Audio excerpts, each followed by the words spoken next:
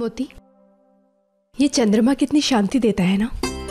और देखो तो आज कितना सुंदर भी लग रहा है। चंद्रमा तो पहले भी आज की भांति सुंदर था और शांति देता था। कुछ बदलाव तो आया है वो भी आप में। आज आप कुछ भिन्न लग रही हैं जोधा। क्या बात है? बहुत प्रसन्न भी है। चुप कर। कुछ ज़्यादा ही बोलने लग गई है तू आजकल। शहनशाह जलालुद्दीन मोहम्मद तशरीफ़ ला रहे हैं। प्रणाम शहनशाह हम बस यहाँ आपको ये बताने आए हैं जोधा बेगम की कुछ ही वक्त बाद निकलने वाले हैं। और हमें उम्मीद है कि आप जो हम आपको बताएँगे शायद उसे सुनकर आपको बहुत खुशी मिलेगी कि हम ये सफ़र बतौर शहनशाह नहीं बल्कि एक आम आदमी करेंगे। ये देखिए।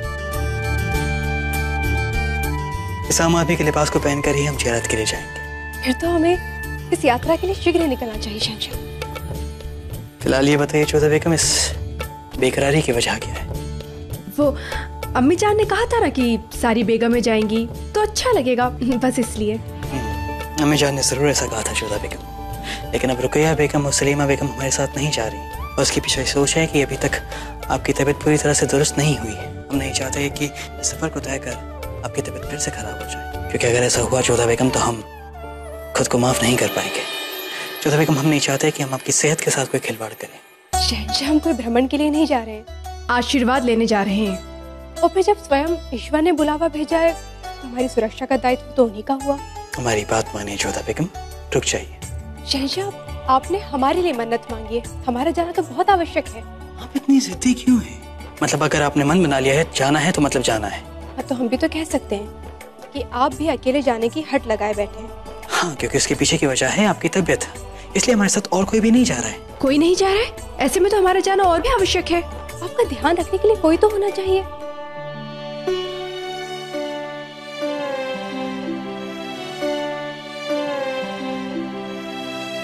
अरे आप दोनों? आदाब अम्मी जान प्रणाम अम्मी जान जीतते रहो। लगता है हम गलत वक्त पर आ गए। नहीं अम्मी जान आप बिल्कुल सही समय पर आइए। देखिए ना शहनशाह आपका आदेश ही नहीं मान रहे हैं। आपने कहा था ना कि हम भी शहनशाह के साथ सिकरी जाएँगे और हम जाने के लिए तैयार भी हैं। परंतु शहनशाह हमें ले जाने नहीं चाहते हैं। अगर जोधा बेगम जाने के लिए तैयार हैं जलाल तो आपको उन्हें ले जाना ही होगा। और याद रहे उनकी हिफाजत और ख्याल रखना आपकी ज़िम्मेदारी है। जान लेकिन हम ये कहना चाहेंगे कि हम ये सफ़र एक आम आदमी की तरह कर रहे हैं और हमें और वो काम करना होगा जो एक आम आदमी करता है। तो सोच लीजिए जोधा बेगम क्या आप इस हालत में वो सब कर पाएँगी? निसंदेह तो चलो इसे एक मुकाबले के तौर पर लेते हैं कि कौन अपनी ज़िम्मेदारी बेहतर निभाता है। जान हमें ऐसा क्यों लग रहा है कि आप दोनों सास बहू एक दूसरे से मिल गई हैं और हमें अकेला देखकर आप दोनों ने हमें घेर लिया है? तो इस वक्त हमारे लिए मुनासिब यही होगा कि हम यहाँ से निकल जाए। आदाब जाओ।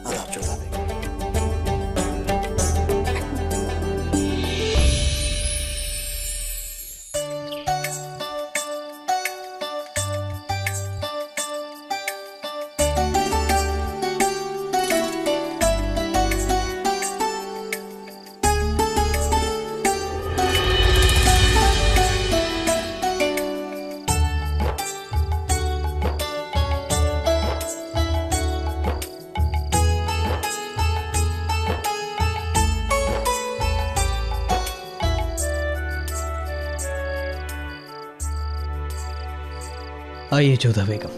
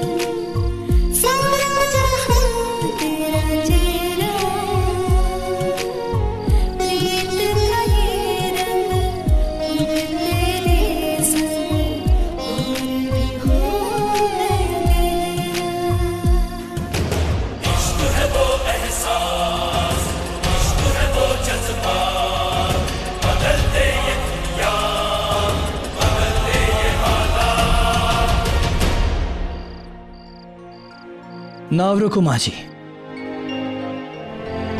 क्या बात है शहनशाह आपने नाव क्यों रुकवा दी?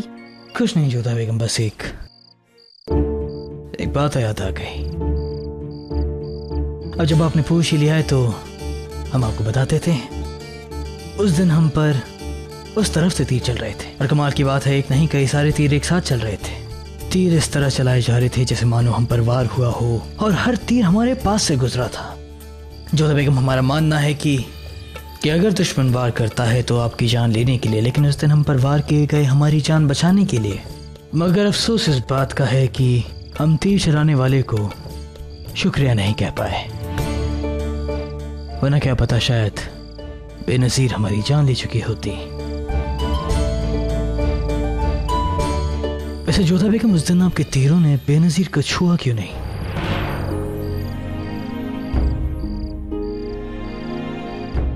जैसा कि हम जानते हैं आप तीर चलाने में बहुत माहिर हैं। एक साथ कई सारे तीर निशाने पे लगा देती हैं तो उस दिन आप चूक कैसे गई? वैसे कमाल की बात है ना जोधा बेगम की आपका निशाना लगा भी नहीं और आपने अपना काम भी साथ लिया। बहुत कमाल का हुनर है ये। लेकिन हम फिर भी कहेंगे कि उस दिन आपको बेनजीर को अपना निशाना बना लेना चाहिए था, वरना आज आप पर जहर पीने की नौबत नहीं आती। तो बताइए, आपने अपने बेनजीर को अपना निशाना क्यों नहीं बनाया? क्योंकि उस दिन हमारा लक्ष्य बेनजीर को मारना नहीं था। आपकी जान बचानी थी। और फिर हम ये कैसे साबित करते कि वो एक विश कन्या है? क्योंकि आपकी भी तो एक बहुत गलत आदत है। आपको जब तक पूरे साक्ष्य नहीं मिल जाते, आप किसी की बात पर विश्वास ही नहीं करते। और खास तौर पर तो हमारी बात पर। हमने एक बार आपकी बात पर विश्वास किया था, आपके पास आए थे और आपने हमें धक्का मारकर खुद से दूर कर दिया था। हम सच कहें, हमें आप औरतों को समझने में बहुत दिक्कत होती है। अब खुद ही देखिए, जैसा आपने कहा कि अपनी बात साबित करने के लिए आपने जहर पी लिया, अपनी जान के साथ खिलवाड़ कर रही थी आप। अब जब आप ऐसी हरकतें करेंगी तो हिंदुस्तान के बादशाह को क्या? दो जहाँ के बादशाह को भी आप औरतों को समझने में बहुत दिक्कत आती होगी। नाव चलाओ माझी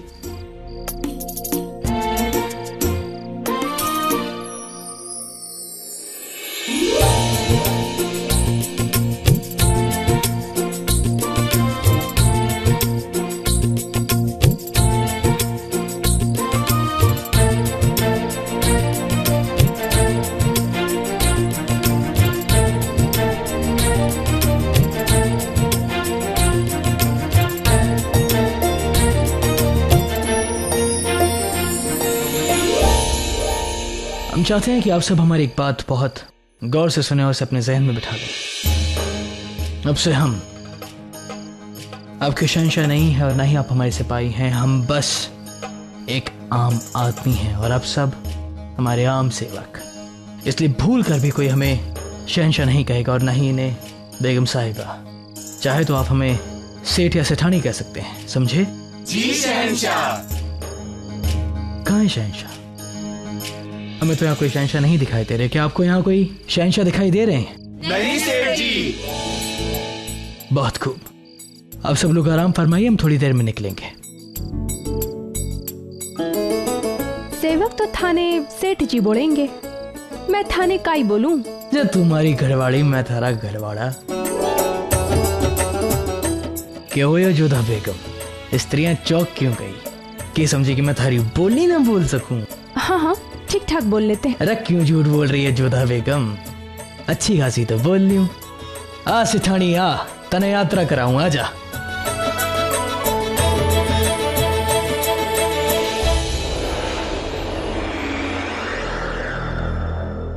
क्या खबर लाए हो गुलफाम?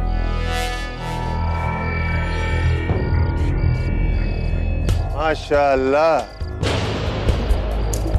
क्या बात है शरीफुद्दीन साहब। कैद खाने में हुक्म बज रहा यहाँ कैदियों को बाहर की हवा नहीं मिलती। आपको तो बाहर की खबरें मिल रही हैं। तुम यहाँ क्या कर रहे हो आदम? खुद तो फंसोगे। हमारे लिए भी मुश्किलें बढ़ा दोगे। चले जाओ यहाँ से। हम तो तारीफ़ कर रहे थे पर लगता है कि जनाब को बुरा लग रहा है। जानकर अच्छा लगा शरीफुद्दीन कि तुम्हें इस कैद खाने में मज़ा आ रहा है। वरना इतनी लंबी सजा तुम कैसे काटोगे